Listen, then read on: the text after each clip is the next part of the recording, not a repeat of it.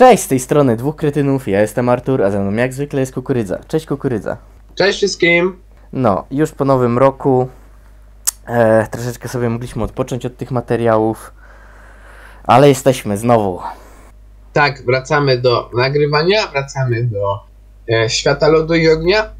Też po przerwie w sumie na omówienie dwóch sezonów Wiedźmina. No i tak. Fajnie, Mm, fajnie było w No, ogóle odskocznie tylko zrobić od Świata Lodu i Ognia. Tak miło było o tym Wiedźminie pogadać. no, te dwa sezony były jakie były, ale zawsze to jednak masz, można pogadać o czymś innym, o czymś świeższym. Mi się to bardzo przyjemnie nagrywało. E, podejrzewam, że w przyszłości będziemy e, robić też więcej materiałów, niekoniecznie powiązanych ze światem Grubasa Martinka. Mhm. Ale to jest jednak taki nasza, taka nasza kolebka, nie? Że to, to jednak z tego zaczęliśmy i tutaj powoli znowu wracamy do tego. Ale dobra, może zanim to wszystko, to, to może im powiesz, jak tam nowy rok i w ogóle. E, ogólnie no, na razie nowy rok idzie bardzo całkiem git. Ja wróciłem do szkoły, a ja jestem tym typem, który nie lubi zdalnych, woli chodzić do szkoły, mimo tego, że bardzo łatwo się tam zarazić i te inne tego typu sprawy. Bardzo, bardzo dobrze. Bardzo dobrze, wszystko jest u mnie git, A jak fajnie. postanowienia? No, y, aktualnie to miałem jedno postanowienie, a w sumie znaczy takie jedno duże, żeby skończyć w końcu Diponię, jeszcze może w styczniu. I na razie przeszedłem razem z tobą y, już drugą część Diponii, została nam ostatnia. Już się nie mogę doczekać, aż będziemy dalej w to grać. Mhm, oczywiście, trzecia i chyba najlepsza część. Y, Okej. O, właśnie mi się bardzo dwójka podobała. Tak, jeszcze nie mówiłem nawet tobie moich przemyśleń dotyczących chaosu w Deponii, ale bardzo mi się dwójka podobała lepiej niż jedynka. No, nie będę się tu rozwodził, jakie rzeczy mi się tam naprawdę podobały, ale naprawdę, no, było to fajne. Fajne rozwiązania, fajny finał, bardzo fajne. Tak. E, tak, jak ktoś lubi point and clicki, to bardzo polecamy Deponię. Super e, zabawa. I to nie jest te, te jeden z tych point and clicków, gdzie naprawdę e, jest przerąbane. Ona jest taka dosyć przystępna, poza paroma zagadkami. Znaczy, ym, tak, jeśli nie macie ze sobą Artura, to może być gorzej. Ale no, bo ja przechodziłem, próbowałem tę grę przejść kiedyś, kiedyś, dawno temu, nie udało mi się, a z Arturem to już jesteśmy na, na drugiej części. Którą w większości rzeczy to bym nie ogarnął bez niego, naprawdę. Okej. Mm, a u mnie, u mnie jest tak dosyć spokojnie właśnie, wiesz, ten e, nowy rok sobie po prostu chilluję przy Asasynku, Odysei e, i czytam sobie archiwum, które dalej czytam, tą, e, ten cały cykl, już czwartą część ostatnio zacząłem. Ach, kocham Brandona Sa- Sandersona, chyba no przekonało mnie to do tych jego książek.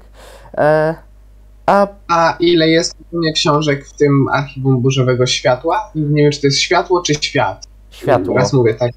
Światło, światło. Ogólnie z tego co przeczytałem niedawno, to mają być dwa cykle po pięć książek, więc obecnie jest 4 na 10, ale Sanderson się charakteryzuje tym, że on jednak on jednak lubi to pisać i jak zostaje w tyle z materiałem, to tam szybko stara się go nadrabiać, nie? Wiesz, nie opierdziela się, że tak powiem, jak Hmm. inni. Hm. Mm, tak. Ej, ale w sumie tak propos innych autorów, no to w tym roku wychodzi Ród Smoka. Jej! A faktycznie, zapomniałem już o tym.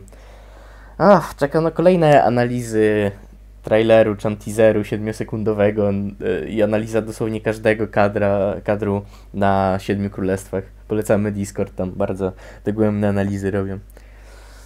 Tak, polecamy serwer 7 Królestw. Wbijajcie, link będzie w opisie. Yeah! Okej, jeszcze tylko propos postanowień, to ja w sumie nie wiem, co tutaj mogę postanowić, ale chyba raz tak za twoją namową, to ten Ogień i Krew w końcu przeczytam. O kur... Nie no, dobra. Masz 11 miesięcy, żeby przeczytać 100 stron ognia i krwi. Ja trzymam, kurwa, wszystkie kciuki moich dłoni, żeby, żeby ci się udało. A mam tylko dwa, więc liczę, że ci się uda. Dwa kciuki to dwie książki, jeszcze Dune machnę w tym roku, to pewniak, pewniak. e, O, dobra. E, nie, dobra, guys. E, trzeba coś wymyślić Arturowi, jak nie przeczyta ognia i krwi i Duny. Jaką karę będzie miał. to już. Dobrze, starczy tego. E, co, przechodzimy do tematu? Tak, e, znaczy w sumie mm, tak może ogólnie rozrysowanie czym się teraz zajmiemy. Jak wcześniej mieliśmy serię e, Królów, a potem jeszcze Roberta dokleiliśmy, to tutaj zamierzamy ogarnąć sobie dziewięć wolnych miast Essos. Taką miniserię machnąć też na podstawie książki Świat Lodu i Ognia, żeby to w jakiś fajny sposób każdy możliwy dział tutaj ogarnąć. E, przez to niektóre odcinki mogą być trochę krótsze niż zazwyczaj, tam nie będzie dwugodzinnych materiałów, tam nawet może się pojawić jakieś 15-20 minutowe, bo jednak jest dużo mniej o tych miastach. Chociaż znając nas, to i tak potrafimy rozgadać, rozgadać się zawsze, nawet jak materiału jest mało. Tak, e, myślałem, że Brawo samo w sobie, bo to jest mimo wszystko chyba najsławniejsze wolne miasto i też najbardziej, jeśli największe jeśli chodzi o content, myślałem, że trafi nam się tak w połowie mniej więcej serii. Albo pod koniec, czy coś. Ja widzę, jak rzuciłem na koło fortuny, to pierwsze co dropło to Bravos, nie? I super, i gadamy o Bravos już w pierwszym odcinku. To było losowane, więc tak. No ale tak miło od północy idziemy. No, może w sumie będziemy tak szli po kolei od północy. Yeah! Od północy w dół, niczym Kregan Stark, co sławnych czasów. Okej. Mm. E, więc tu tu tum, odsuwam zasłonę, siup. Tak, dzisiaj jesteśmy w Bravos. To jest chyba moje ulubione e, wolne miasto, jak sobie teraz tak pomyślę o tym. E, tak, właśnie jak pierwszy raz zobaczyliśmy to, to było już nawet w książkach Martina pokazane, nie? Pierwszy raz to było w chapterach Ari, dobrze pamiętam. Eee, tak, chyba Aria tam przyjechała szybciej niż sam, ale nie pamiętam. Yy, dobra, tak mi się wydaje, no ale powiedzmy i tak, tak, chyba Aria, bo ja byłem pod wrażeniem tego całego kolosa, że fajnie to wszystko było umiejscowione na tych wysepkach, w ogóle taka ciekawa kultura tam jest. E, naprawdę, więc byłem zainteresowany tym klimacikiem. Tam potem troszeczkę mniej było o tym Bravos, a bardziej o, tym, o tych działaniach Arii, ale, ale i tak, tak się trochę mogłem o tym dowiedzieć. A jak u ciebie? E, no, naprawdę, w sumie. Mm, tak, tak samo jak oglądałem serial i Tytan z Bravos zrobił na mnie wrażenie, tak jak czytałem później książkę, Tytan z Bravos mi zrobił jeszcze na mnie jeszcze większe wrażenie. Faktycznie, zapomniałem. No tak, bo ty najpierw serial oglądałeś. No, ciągle zakładam, że ktoś najpierw książki czytał. E, y, Okej, dobra. Właśnie ja dopiero potem widziałem tego Tytana z Bravos. Mm, ale pamiętam, że jak pierwszy raz jeszcze zobaczyłem to miasto, tam sobie wyszukiwałem, wiesz, jakieś arciki, Bravos, nie tak chciałem zobaczyć to miejsce. To było naprawdę jedno z moich ulubionych miejsc w Westeros, ale oczywiście tam chyba Orle Gniazdo dalej góruje. Ho, ho, góruje, ho, ho. No i bardzo mi się... jest- Tak? To niezłe Bravos Westeros. Znaczy, tfu, przepraszam, wy... Jak to nazwać w ogóle? No, na Wesos. No Wesos, ale jak, jak ja mówię, że ogólnie ulubione miejsca w tym świecie, to co? W świecie lodu i ognia, mam powiedzieć, tak? E, to jest. E, świat chyba ten został nazwany przez fandom Planetos. Planetos Tak. to bardzo ambitna nazwa. E, Tak. Tak samo jak, jak e, świat wiedźmiński został nazwany przez fanów Wiedźminland, nie? To ja szczerze wolę Planetos niż Wiedźminlandy. Dobra, zostajmy przy Planetos, ale, ale chyba ja też lubię mówić po prostu świat lodu i ognia. No to po prostu, no, jedno z najfajniejszych miejsc. I Tak. Mogliśmy w końcu o tym poczytać w Świecie Lodu i Ognia. Ty już tam trochę wcześniej przeglądałeś te materiały, jeśli dobrze pamiętam. Tak, bo ja po prostu chciałem przydać tę książkę od deski do deski, żeby mieć odhaczoną i teraz po prostu sobie będziemy do tych różnych rzeczy, lokacji, wydarzeń wracać. Okej, ja właśnie dopiero ostatnio przeczytałem to pierwszy raz, bo tam e, zostałem na Targieńskich Królach, bo tam czytałem inne rzeczy. A, ale tak, ucieszyłem się jak zobaczyłem, że Bravos ma trochę więcej kartek poświęcone niż na przykład inne miasta. Na przykład chyba Pentos ma tylko jedną stronę niecałą. Więc od razu to mnie trochę podniosło na duchu. Ale też się przestraszyłem, czy ten materiał nie będzie za długi, nie? Bo jak jest parę stron, zazwyczaj w świecie lodu i ognia, nasze materiały tak wychodzą masakrycznie długie potem. No, Dobra, to ja coś jeszcze powiem tutaj. A właśnie z najbardziej ciekawych rzeczy z Bravos, to mnie zawsze interesowało to, że to jest taki dom wielu kultur, nie? Wielu religii. Tu jest tak naprawdę bardzo wszystko mieszane. E, bo to wszystko tam powstało przez to, że tam niewolnicy kiedyś uciekli z e, jakiegoś tam konwoju, czy jak tam się nazywa, tam z Walerii, nie? Tam płynął jakiś, płynęły te okręty, oni tam uwolnili, przypłynęli, schowali się w Bravos i, i jako, że tam każdy niewolnik to był praktycznie jakiś różny, z różnych rejonów, to się tak już tak ukształtowało. I tam jest taka zarąbista tolerancja religijna i rasowa, tam po prostu można spotkać każdego, tam się tak podoba ten aspekt Bravos.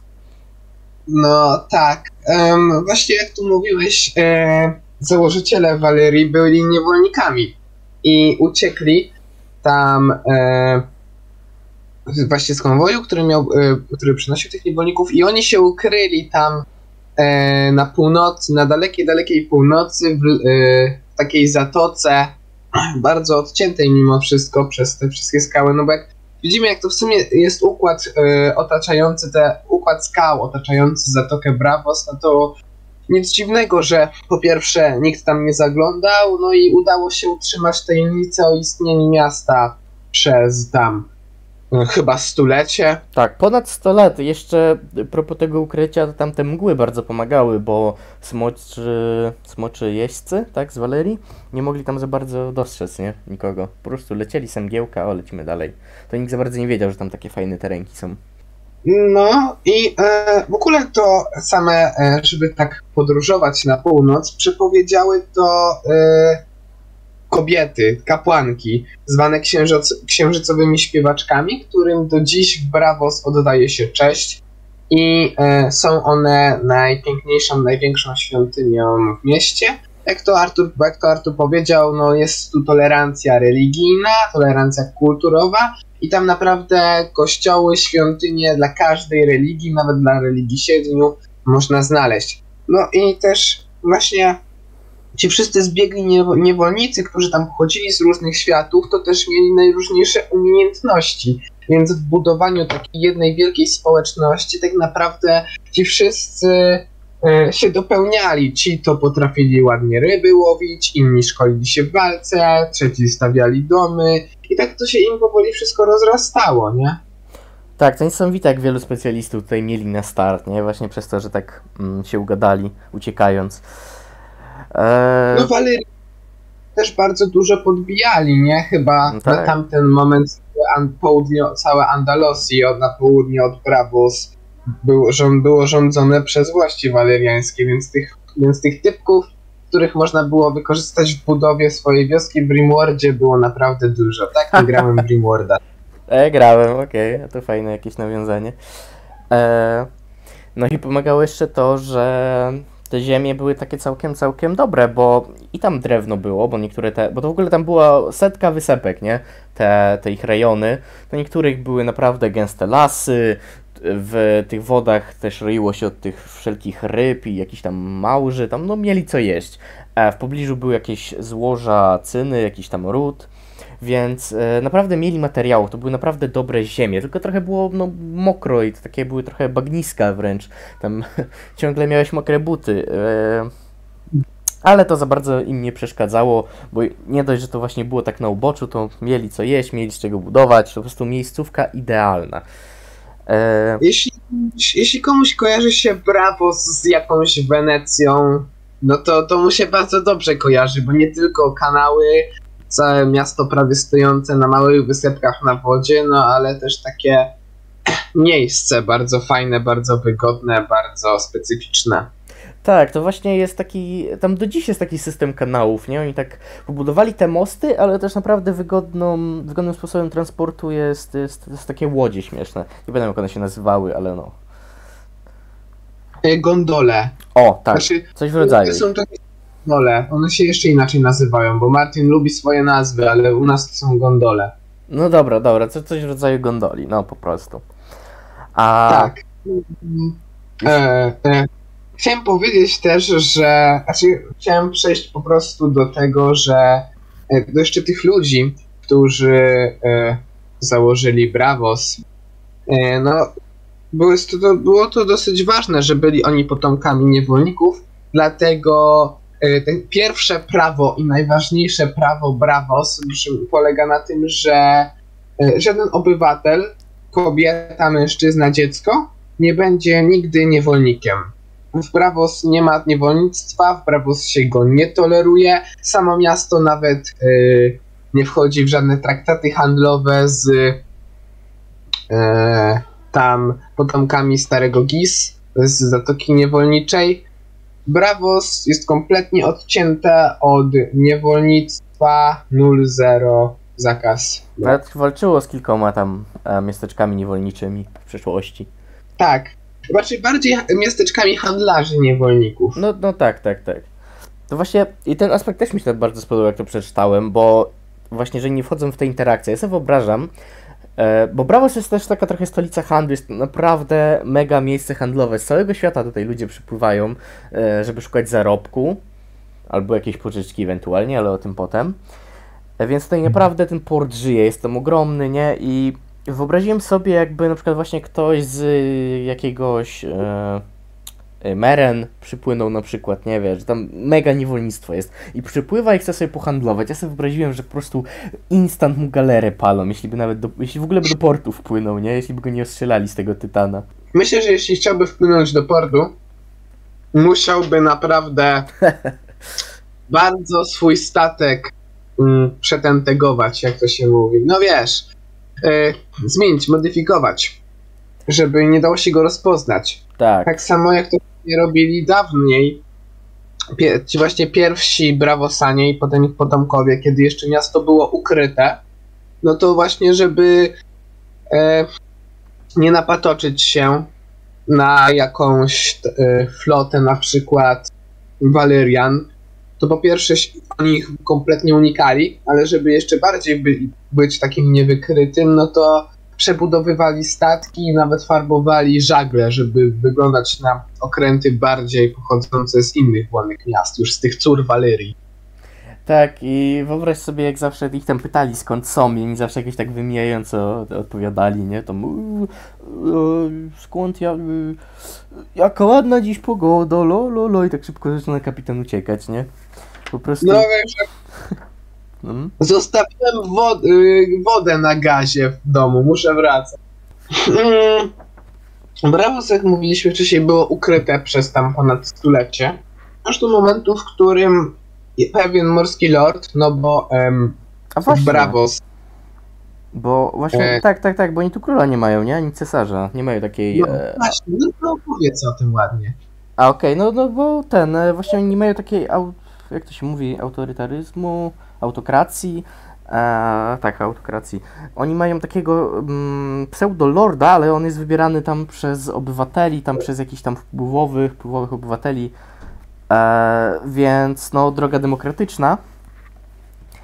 E, I no, jak tutaj czytałem o tym, to nie trafił się do żaden lord, który na przykład by myślał nad jakimiś takimi niecnymi, na przykład przywróceniem niewolnictwa, nie? Czyli, że każdy wybrany demokratycznie do tej pory, to jednak, wiesz, podtrzymywał te tradycje brawos, czyli naprawdę tam mają spoko leadership, jeśli dobrze rozumiem to, co przeczytałem. Myślę, że to powstrzymywał to dlatego, że Bravos była silną gospodarką samą w sobie, a jakby spróbował, no to by długo tego stanowiska morskiego lorda nie utrzymał. Nie no, oczywiście, ale wiesz, jednak, jednak tam do... ładnie to jest wszystko opisane, że jest naprawdę chillera w tym Bravos, nie? Przynajmniej tutaj tak No. przy, przywódczo. E, Okej, i czekaj, coś chciałeś powiedzieć chyba o, o coś od tego morskiego lorda. Że pewien morski lord, i też chciałem wytłumaczyć, czym jest morski lord, a potem, żebyś ty powiedział o odkryciu, to teraz sumie ja powiem. Zdecydował, że w sumie Bravos jest już wystarczającą potęgą i handlową, i tak naprawdę militarną, bo flota Bravos jest jednym z jego największych plusów. Te statki są niesamowicie szybkie, niesamowicie em, no po prostu niesamowicie dobre. I no i też niezwykle szybko się je buduje w, w stoczniach brawowskich. One powstawa, powstają mm, w jeden dzień, o tak, powstanie ci łódka wojenna. Tak, No no, bo oni mieli postanow- tam gotowe części tam bardzo uzdolnionych ludzi, więc potrafili nawet w, no czasami w jeden dzień złożyć taki dobry okręt. O. No i postanowił, że kurde, no dobra, czas pokazać światu, że Bravos istnieje. Powysyłał swoich marynarzy nawet do najróżniejszych miast na świecie, po to, żeby z mapami, po to, żeby głosili, że Bravos istnieje, żeby zapraszać ich do miasta na handel. No i też wysyłał emisariuszy Żelaznego Banku, żeby mm, wysyłali, żeby no tam proponowali pożyczki, żeby zarabiane było fajnie i w ogóle. I no, Bravos stało się centrum tak naprawdę e, handlu dla całego znanego nam świata. Tam wszystkie prawie okręty handlowe przemykały przez Bravos, oprócz oczywiście tych, które pochodzą z mm, miejsc, gdzie handel niewolnikami kwitnie. Ale sam Żelazny Bra- Bank też jest ciekawą y, instytucją, nieprawdaż? Oj, na pewno. Kurde, oni, oni tu można by dużo tutaj pogadać, jednocześnie mało, bo mało o nim wiemy, ale jest tam dużo o nich takich. Plo- ma, ma tam swoją taką re, renomę, reputację, nie? Jednak. E, właśnie najbardziej to było widać w książkach Martina, jak to jest w ogóle jedna z moich ulubionych akcji. Trochę nie do końca mi się podobało to, jak zostało to w serialu przedstawione, ale ogólnie Bravos, Bank w Bravos na początku to był taki trochę takie trochę śmieszne składziki w kopalni, bo tam jakieś tam 23 takich jakichś niewolników tam składowało jakieś swoje przedmioty w kopalniach, żeby ich tam nikt nie ukradł i potem, potem jakoś to ewoluowało w bank, nie, już e, e, e, w coś takiego bardziej trwałego. Właśnie mm, do, do dzisiaj jest taka fajna pozostałość tego, bo są w Bravos takie, takie, hmm, tak jak to nazwać, takie osoby jak klucznicy, nie? Oni mają takie klucze, jeszcze trochę pozostałości właśnie tych, z tych starych czasów, no teraz jest bardziej taka ikoniczna rzecz. E, jak, jak rozumiem, do, do tych takich starych skrytek i w ogóle, nie? Ale oczywiście teraz to już trochę inaczej tam działa. I ci klucznicy są teraz tak dosyć mega szanowani w obecnym Bravos, nawet jeżeli... Mm, nawet jeżeli jakiś typ co jest klucznikiem, to klucz to jest jedyne co ma, nie? Tam żyje pod mostem, ale klucznik, nie? No, jego tam dziadek to kurde miał ten pierwotny Brank Bravos, nie? To respekt. I... Tak, mimo wszystko możesz być menelem, ale masz kluczyk, nie? To i tak jesteś kurna szanowany na ulicach, jesteś bardzo ważny w państwie, mimo że tak naprawdę już coraz więcej e, różnych innych e, instytucji oraz e, spółek, można tak powiedzieć, no innych ludzi, innych głów mają udziały w banku Bravos. Klucznicy to już są tylko i wyłącznie tak naprawdę symbolami kultury. Tak, to dalej niektórzy tak, z nich, nie? Tak, czyli no dalej też są rodziny kluczników, które utrzymały się przez te wiele, wiele setek lat w tym mhm. stanowisku. Mm, tak, y, powiedziałeś, że śmiesznie to było przedstawione i sobie, sobie przypomniałem, jak właśnie mm, tam Stanis w tym czwartym sezonie płynie do Bravos, żeby układać się z Żelaznym Bankiem. Właśnie, nie, y, tak mi się bardziej podobało. E, czekaj, tylko tak może jedną rzecz powiem, że. Albo dobra, już po, potem o tym powiem. Bardzo mi się podobało w książce, jak e, Cersei stwierdziła, że ej, mamy dług w Żelaznym Banku, co jeśli byśmy go nie płacili? Byśmy mieli kasę, nie? Kurwa, IQ, nie? 100.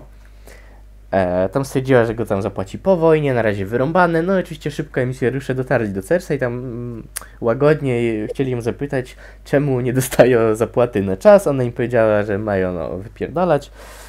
No i żelazny bank tylko skinął głową od razu skierował się do możliwego pretendenta, który, po, który już jakby zasiadł na tron, to by płacił dług. To mi się bardzo podoba ta polityka. Często w przeszłości tam na Westeros na przykład jakiś lord, co też tam nie chciał płacić, znikał i jego nagle jakiś kuzyn się pojawiał, który już płacił e, właśnie te, ten długi po objęciu poprzedniego stanowiska. Więc bardzo mi się podoba, jak to jest tutaj przedstawione. Lada moment znaleźli kurwa Stanisa, tam na mur po prostu pojechali, mają jednak chłopaki te info, I, I no, i zobaczymy, co w sumie z tym dalej będzie, ale to już może w wichrach. Ech. Właśnie, to mi się też, też tak podoba, nie? Że jak nie chcesz płacić długu, no to kurwa, oni znajdą najbardziej wymyślne sposoby, żeby się ciebie pozbyć, żeby to załatwić. Mają kurwa, nigdy nie zadłużaj się w żelaznym banku, nie? Oni, tak. oni potrafią. Mm, jest też, no w sumie oni tak naprawdę gdyby nie żelazny bank, wiele rzeczy w Westeros nie wyglądałoby tak jak teraz, ale e, no nie przygotowaliśmy się chyba w tym zakresie, żeby tak to, trochę bardziej o tym rozpowiadać. A, są tym, pewne teorie, tak, ale to już, tak, tak, to, to nie dzisiaj o nich. Tak. Eee, Jeszcze tylko powiem, że ten w ogóle Żelazny Bank w Bravos jest taka dosyć tajemnicza instytucja, nie? Że mówiłeś wcześniej, że niektóre tam jakieś osoby, rodziny mają udziały w tym banku i tylko ci klucznicy i te rodzinki takie z tymi udziałami tam mogą brać udział w jakichś a, tam zebraniach, tam wiesz, jakieś decyzje podejmować odnośnie tego banku, ale to jest bardzo, bardzo potajemnie, nic o tym praktycznie za bardzo nie wiemy. no tak, tak. To bardzo, bardzo wiele rzeczy, decyzji, wszystko, wszystkiego w tym banku jest po prostu nieujawnione światu, a skoro nie jest ujawnione światu, no to my automatycznie o tym nic nie wiemy. A jeszcze będziesz kontynuował temat y, banku, bo to jeszcze będę chciał o Stanisie rzucić jedną rzecz o, w banku. Ja tu rzucę ostanie się, rzucę ostanie się. Dobra, dobra, tak na zakończenie. E, bo ogólnie, jak mówiłem, jak w książce to wyglądało, to w serialu to było coś takiego, że już nie pamiętam dokładnie tych dialogów, ale mi się wydawało strasznie głupie, że tam po prostu Stanis z Davosem popłynęli, oni go tam wyśmiali, Davos wstał, coś tam powiedział, yy, Cersei tam zła, ona ten nie płaci, w ogóle ten źle, i, a, y, a Stanis płaci, teraz nie mamy pieniędzy, ale, y, ale byśmy płacili, jakbyśmy mieli te korony. I, i tam wszyscy, mm, mądre słowa, tak, tak, popieramy Stanisa, tak, Jeszcze dobrze im palce pokazał. Co? Jeszcze im palce pokazał. tak, tak, tak. E, no, może to nie było dokładnie słowo w słowo, ale tam pamiętam, że te argumenty jego jakoś mnie nie przekonały, jak oglądałem serial, więc dobra. Potem to też było ciekawe, jak żelazny, się bank, żelazny bank znów się pojawia, tam przychodzą do Cersei, mówi im spłać dług, a ona im mówi, dobra, spłacę, ale nie teraz po wojnie. Oni mówią, dobra i znikają. Hm. Jeszcze chyba pożyczkę im potem dali, żeby miała z, z, z, złotą kompanię, żeby opłacić. Bra, co to ko... Ja pierdolę. Dobra, starczy. Ech. To jeszcze co możemy rzucić, kukurydza? E, no tak jak e, mówiłem czy też o tym e, ogłoszeniu, ujawnieniu Bravos dla świata, to do dzisiejszych czasów jest tak naprawdę to bardzo ważne święto w kulturze Bravos. I jeszcze bardziej ona przypomina te wszystkie karnawały weneckie, że tam chodzą w maskach, tam świętują przez kilka dni, bawią się dopiero na końcu, na końcu tej całej imprezy wszyscy ściągają maski, jest uuu, koniec wielkiej imprezy, brawo ujawnione. To musi być dobra imba.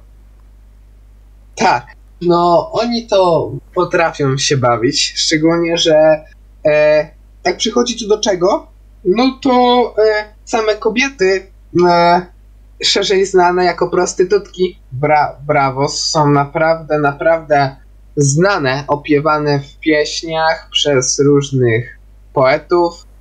E, Wiele z nich też zapisało się w historii świata, na przykład już nie pamiętam jak się ona nazywała, ale Egon IV, jedną z, jedną z metres miał chyba e, z Bra, właśnie z Bravos, pochodzącą z Bravos dziwkę. Bravos. Tak, tak. To była Znaczy, ta. no nie, ona była chyba pirat, ona piratką była. Tak, tak, ale i tam jej córka potem była tą kurtyzaną i się tam jakoś y, sławiła ta cała linia czarnej perły. Ta, no, ona tak, no, bo to była, no, taka, mm, Czarna perła.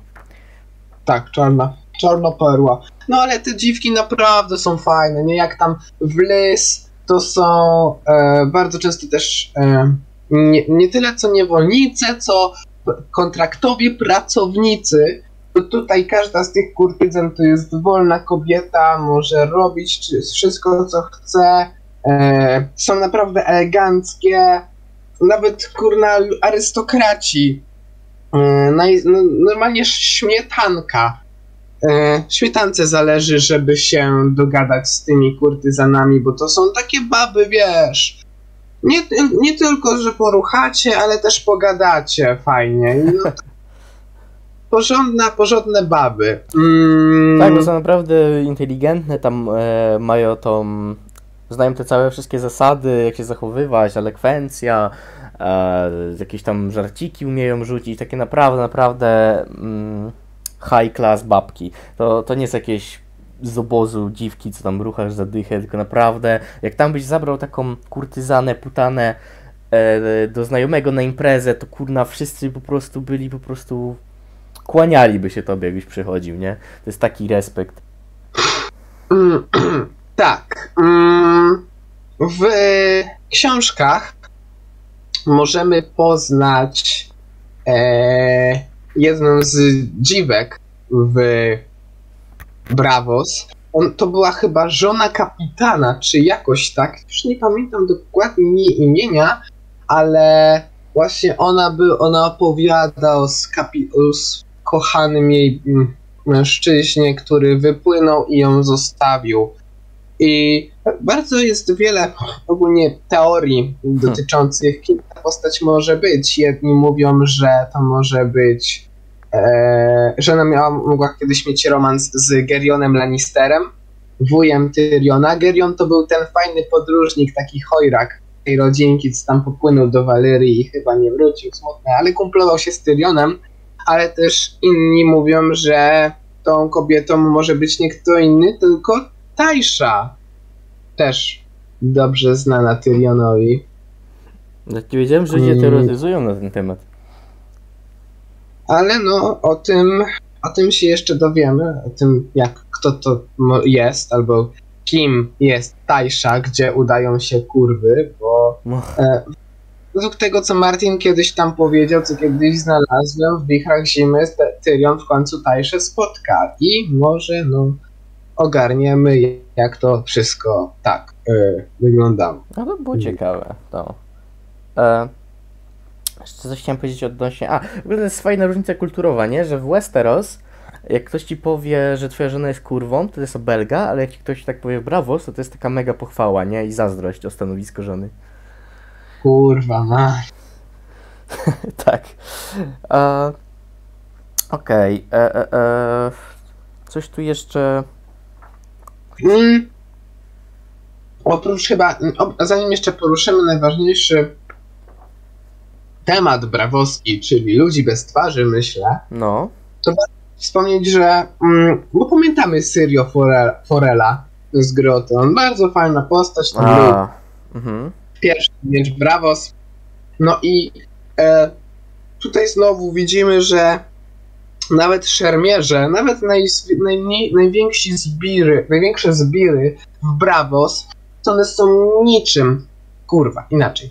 To oni są o wiele mm, bardziej, że tak powiem, i bogatsi, i eleganccy niż zbiry Westeros. Oni nawet mają takie mieczyki swoje śmieszne, które przypominają szpady, takie chude, że e, machają i machają nimi ciągle. Mhm. Tak. Są E, dużo nie bardziej noszą- zwinni, nie? Tacy. tak, są zwinni, nie, nie, nie, e, zbroja, cała ta kultura tego, że Westeros rycerze chodzą zakłuci w zbroję, kurwa Ironmany, od czubka głowy do końca stóp, to mm, w Bravos się tego nie praktykuje. Cho- Chodzą, chodzi się po prostu w zwykłych takich koszulkach, szatach. No a mieczyki też po prostu, jak mówiłem, są takie bardziej przypominające szpady, bardziej zwrotne, bar- mi się wygodniej walczy, no i też są lżejsze od wielkich mieczy. E, przez to są naprawdę śmiercionośnymi e, przeciwnikami. Sama też w Bravos jest ważna i ceniona kultura wodnych tancerzy, którymi no jednak ci większości, znaczy ci najlepsi ze zbirów mogą się tytułować takim tytułem, że Mhm. ogarnęli sztukę walki, mm, że ogarnęli sztukę wodnego tańca. Mm, No, wodni tancerze naprawdę potrafią potrafią dużo. Są tak zwinni, że jak walczą na tafli wody, to prawie jej nie ruszają, nie? No tak. To To jest, są koksy. tak, to jest plotką, taką bardzo głośną, ale, ale fajną. No i ci, którzy są naprawdę jeszcze większymi koksami, dostają tytuł pierwszego miecza, brawo. No tam mają chronić tego lorda i w ogóle taki po prostu, jak taka, taka gwardia królewska, nie? Ale no... Taka, taka bardziej stylowa. No, Wspomniałeś o tych zbójach, to tam nawet ci, no te zbóje tam w zaułkach walczą o te szpady i tam nawet pojedynkują się względy jakichś tych kurtyzan, nie? To jest tak naprawdę wszystko bardziej kulturalnie. Znaczy, wiesz, jak źle ktoś skręci w nocy do zaułka, to wciąż dostaniesz tam czymś ostrym brzuch, ale, ale przynajmniej będziesz ba bardziej elegancko ginął, nie? Od szpady, a nie od pałki w łeb. E, e, tak, i to właśnie tak wyobraziłem, że taka w skrócie ta cała różnica między zbójami w Westeros a w Bravos to jest od łup łup do siu siu ciach ciach. To jest tak w dużym skrócie cała różnica. E, Tak to samo można było podkreślić tak naprawdę. Okej. Mm, jeszcze zanim przejdziemy do tego ostatniego tematu, to ja tylko tak napomknę, żeby nie zapomnieć. W ogóle o tym wcześniej chciałem wspomnieć, ale zapomniałem. A Bravos tam chyba nie ma za bardzo murów ani takiego niczego, nie? Oni mm, bardziej polegają na, na tym, jak krajobraz jest ukształtowany, na tym tytanie, który też jest dosyć strukturą obronną i najbardziej na swoich okrętach, która, no, które tworzą tak wręcz drewniany mur, tak? Dobrze zrozumiałem to. Tak. No. Przez flotę nic nie przejdzie. Tak, tak. No, chciałem tylko dodać, że jednak Nic. Bravos Nic. to ma flotę. Yy, Okej, dobra. C- Chcesz coś jeszcze o tych twa- beztwarzowych? Bo to w sumie też ciekawy temat jest. Bardziej chciałem ja się wtrącić z pewną Dobra, teorią, dobra, ale dobra. niech będzie, to ja mogę coś powiedzieć. Ogólnie e, kojarzycie dom Czerni Bieli? No na pewno kojarzycie. Tam to jest cały wątek Arii, basically. Ale istnieje taka organizacja i tam są tacy bardzo, bardzo fajni skrytobójcy.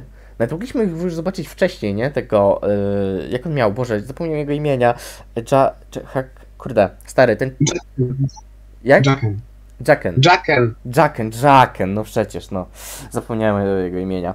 Też mogliśmy go zobaczyć jeszcze wcześniej i jak zarąbiście działał. Aria miała te trzy życzenia śmierci, po prostu powiedz imię, gość kurwa ginie, nie? Piękne to było, nie? Tak jeszcze wyglądało to na wypadek, no. Widać, że to są tacy profesjonaliści, nie? To nie jest po prostu jakiś typ, co idzie z waleriańskim nożem, nie może kaleki zabić. To Westeros po prostu, bez klasy, totalnie, bez rikczu. Tylko tu to jest po prostu majstersztyk. Jakby Aria powiedziała, że ma po prostu zabić samego króla, tam Joffreya, czy tam nie wiem kto wtedy jeszcze żył, to, to oni by ruszyli jeszcze tej samej nocy, już by pewnie nie było, nie? No teraz, teraz troszeczkę oczywiście przesadzam, ale, ale chcę podkreślić ten ich profesjonalizm i skill. No, nie wiem, jak ktoś z was grał w Kotora i pamięta droida, tam HK-47, który powiedział, że jak mu powiesz kogo zabić, to on przejdzie całą galaktykę, żeby tylko zabić jednego typa. To ludzie bez twarzy to są tak samo enigmatyczni, tak samo kurna wys- wyszkoleni, że mówisz, płacisz dużo, bo płacisz, bo się cenią, ale tak naprawdę jak zapłacisz, to masz pewność, że ten typek zginie w bardzo bliskiej przy- przyszłości i problem z głowy. Wiele się mówi o tym, że Żelazny Bank wykorzystuje ludzi bez twarzy w właśnie umorzaniu i dogadywaniu się z pewnymi ludźmi, którzy tych długów nie chcą płacić. Ale to tylko e, takie, taka, taka dygresja. Ploteczka, Mm. bo nic nie jest potwierdzone, nie ma dowodów. Nie, tak, nie ma dowodów, że żelazny bank ma kontrakty z ludźmi bez twarzy. Em, ale tak samo nie ma dowodów na to, że ludzie bez twarzy doprowadzili do e, zniszczenia Walerii. Tak. A to jest Mm. em, jedna z e, teorii, jak to, jak to można powiedzieć. Cholera, to jest E, bardzo ciekawa teoria. E, tak, no wiemy, że Bravosanie, Bravosi, Bravosi się mówi, Bravosi pochodzą z Walerii, są byli, byłymi niewolnikami, tak? No i też wiemy, że yy, Walerię otaczało te 14 płomieni, te 14 niesamowitych wulkanów, które po prostu w pewnym momencie bum, wybuchły. No a ludzie bez twarzy to zakon skrytobójców, no, którzy zabijać potrafią. I parają się magią. No i też wiemy, że w Walerii magia była do, bardzo powszechna, bardzo często używana, wszelakiego rodzaju magia. No i też różni magowie, magowie ognia głównie, e, dbali o to, żeby te wulkany były stabilne, żeby nic się z nimi nie działo. No ale w pewnym momencie, no wiadomo, że wulkany eksplodowały, czyli coś się z nimi zadziało. Więc no nic tak naprawdę nie stoi nam na przeszkodzie, żeby gdybać o tym, że po prostu ktoś, jacyś ludzie najprawdopodobniej mogli się tych czarodziejów, którzy dbali o te 14 płomieni, pozbyć. Przez co no, Walerię spotkał kryzys, a później ona upadła. No, no mów. Nie, nie, nie, okej, właśnie tak słucham tego, okej, dobra. To nawet nie wiedziałem, że takie teorie już wychodzą aż na... że łączą takie rzeczy, ale no dobra, okej. To gdzieś można faktycznie zobaczyć sens w tym. Asasynację tych potrzebnych ludzi.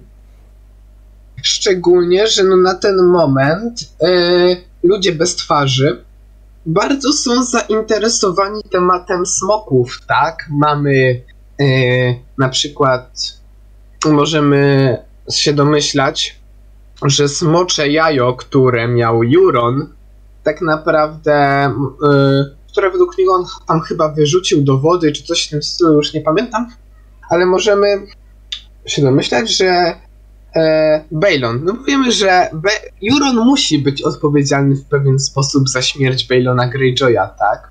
Szczególnie, że pojawił się nie chwilę po nim. A też wiemy, że jeden z e, bractwa ludzi bez twarzy na ten moment w Westeros przebywał i był to niejaki, na ten moment w sumie znany nam szerzej, Jaqen Hagar. Mhm. No jest on nikim tak naprawdę dosłownie, no ale będziemy mówić o nim Jaqen, no bo go tak łatwiej rozpoznać. Tak.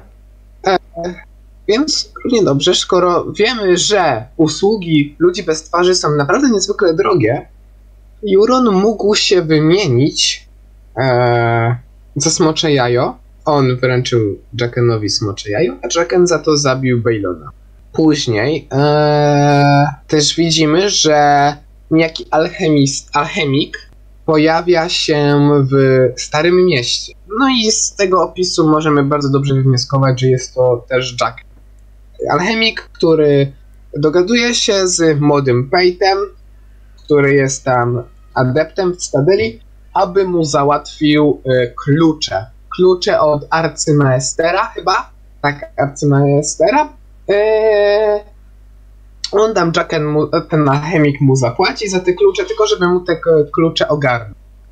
I z myśli Pejta, bo Pejt jest protagonistą prologu, możemy się dowiedzieć, że klucze otwiera, te klucze, które ukradł, otwierają bardzo wiele rzeczy w Cytadeli. W tym miejsca, w których, w tym w krypty, w których ukrywane są stare, rzadkie waleriańskie zwoje zawierające tajemnice sprzed zagłady Walerii. No i myślę, że taki człowiek bez twarzy nie chciałby dostać tych kluczy, żeby sobie poczytać jakieś encyklopedie świata albo żółwi morskich na rzece Roy, tylko bardziej zależałoby mu na właśnie takich waleriańskich zwojach. Po co? No, nie wiemy. Może to się okaże w wichrach. Szczególnie, że e, po tym, kiedy już alchemik pozbył się Pejta, e, przybrał jego twarz i dostał się e, w. Dostał, dostał się w otoczenie e, maestera Marwyna Maga. To był do którego też sam na końcu przybył, któremu tam opowiedział swoją historię.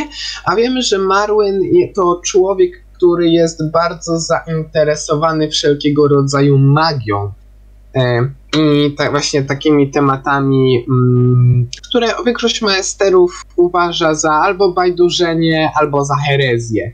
No ale i właśnie Marvin jest bardzo często nie traktowany przez nich na poważnie. On jednak e, naprawdę, kiedy już go poznajemy, widać, że to jest typ, który zna się na rzeczy, nie? To jest typ, który ogarnia rzeczy, które normalnie masterowie nie ogarniają.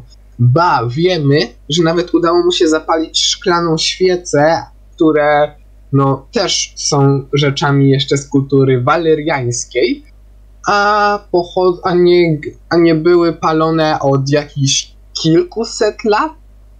Przynajmniej? chyba nawet jeszcze od czasu upadku Walerii nie były palone, więc no typ naprawdę potrafi intu takie rzeczy, e, a sam jestem zainteresowany e, Daenerys, Daenerys i jej smokami, no i wyrusza do Daenerys na końcu uczty dla Wron, tam najpewniej dodrze w przyszłej książce, e, ale no Pate, aka alchemista, aka alchemik, aka Jacken, no jest, aktualnie znajduje się w bliskim gronie Maestera, no i ma dostęp do jego najróżniejszej wiedzy. I jak to zostanie wykorzystane? Jaki cel jest tego wszystkiego?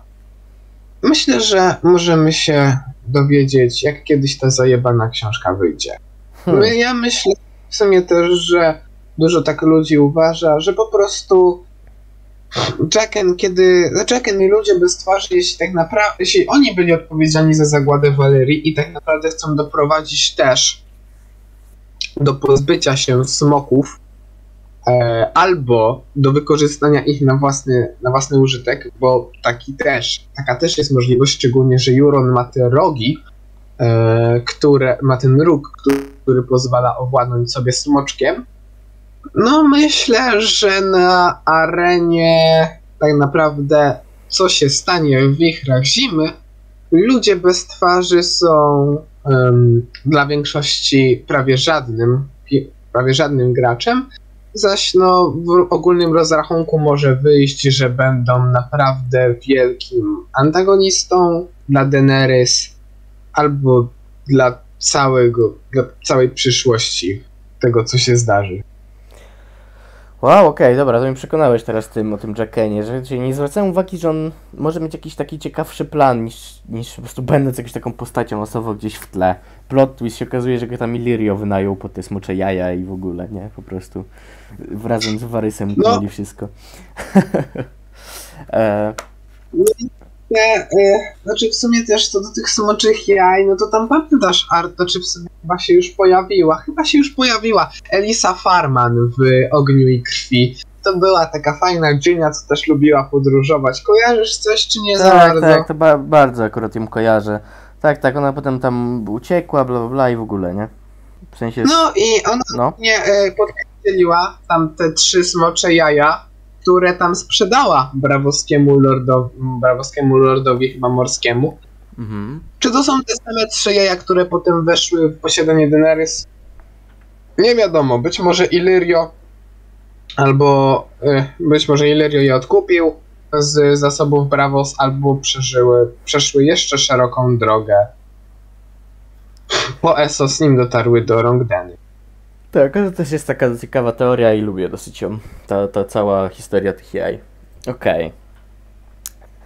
Dobra, fajnie, że wynalazłeś tą teorię, bo teraz zacznę bardziej zwracać uwagę na tego Jackena, zwłaszcza jak będę może tam czytał kiedy drugi raz te wszystkie księgi, ale to nie wiem, w najbliższym czasie oczywiście. A, okej. To co, masz tu jeszcze coś do dodania? E, w sumie to jedną rzecz, bo, bo pamiętamy, że e, tam Deny spędziła część swojego dzieciństwa e, w Bravos. Tak przynajmniej Viserys jej opowiadał, a jedynym jej wspomnieniem z Bravos są drzewa e, pełne cytryn oraz czerwone drzwi. A ja tylko chcę powiedzieć, co powie w sumie bardzo duża część fanów każdy, każdy, kto to dogłębnie analizował, że klimat Bravos nie pozwala na to, żeby rosły tam cytryny, więc Daenerys na pewno tam nie było. I Viserys po raz kolejny ją nie wiadomo dlaczego okłamał. Być może było to Dorn, szczególnie, że wiemy, że Doran popierał Targaryenów po upadku Erysa, no i musiał, może musieli po prostu wyjechać, ale czemu Viserys mówił, na, mówił to Bravos, może to może potem wyjechali do Bravos. Ale na pewno czerwone drzwi z, ze wspomnień Daenerys i te drzewa pełne cytryn to nie było w wolnym mieście Bravos. Okej, to tak, tak jeszcze tylko napomykając, bo do zaraz zaczniemy przytaczać te wszystkie teorie smocze. Ale Tak, fakt i ciekawostka dla was. Bravos nie ma cytryn. Oj nie. No. To co, kukurydza? No chyba, że ty też chcesz coś pogadać. Nie, ja od 10 minut No. na parze nie To już chcę pogadać. Część tego materiału to jest ta teoria, ale okej, fajnie. Nie, ona jest dosyć ciekawa, więc spoko. Eee... O Bravos to już chyba wszystko powiedziałem, a ja żadnych teorii nie mam, bo ja tak w teoriach nie siedzę, tutaj bardziej właśnie ciebie słuchałem. Eee... Tylko, tylko może tak podsumowując, jeszcze powiem, że że Bravos to jest w sumie takie całkiem fajne miejsce do życia, o ile ktoś nie przeszkadza komuś ten kontakt z takimi naprawdę różnymi ludźmi, nie? Bo tam, no, bardzo jest różnorodnie. I, i, i, i no, jest dużo takich, jak to się mówi, takich morskich, szemranych typków, nie, no, taki, nie, nie wiem nawet jak to ująć, ale Raj- no, taka kompania typowa bardzo dla Bravos, nie, jak tam wi- widać jak Aria chodziła, to, to jednak mniej było takich szlachty na przykład gdzieś tam widać, albo, albo takich mieszczan typowych, tylko tam no, po prostu ludzie z Bravos, nie, to jest taki osobny po prostu lud, osobny ma, osobna kultura, więc po prostu ktoś musiałby się przyzwyczaić. Ale no, brawo, Stillera, Utopię, jeszcze raz to powtarzam. Bravos fajne. W ogólnym rozrachunku Bravos dostaje od nas lajka na 10. Tak, polecamy życie w tym, tym, o ile nie przeszkadza jeszcze też woda, ta wilgoć. Tak, szczególnie, że no ostatnio coś tam daje się słyszeć, że Bravos długo się nie utrzyma, bo, bo te wysepki nie utrzymają ciężaru budynków i to wszystko runie w chuj w wodę. Ej, do Ale tej pory tylko jedna pierdolnęła. I, Wenecja dalej, dalej ludzie tam żyją. Kurwa. Morskie stwory z Cthulhu. Im nie przeszkadza to, że mają na przykład parter w wodzie, ale pierwsze piętro luksus, nie? Nad powierzchnią wody i se dalej tam mieszkają, więc zarąbiście, tak? Ech, kurwa, brawosi są popierdoleni. Okej, a p- to co? Jak coś to, to no, ja tu już z mojej strony koniec. Ja też już mam wszystko, pogadali. Pogadali, pogadali, można iść. Tak, e, następne miasto to prawdopodobnie będziemy tak lecieli w dół, chyba że ktoś da fajną propozycję, to się zastanowimy. Jo. Dobra, to ja się żegnam, na razie. Cześć wszystkim.